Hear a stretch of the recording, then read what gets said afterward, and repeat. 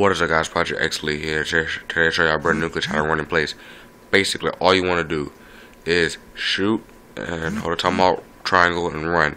If you do that, you make sure you only shoot one bullet. So you gotta shoot and hold the at the same time. Then wait and triangle to run at the same time. If done correctly, will run in place.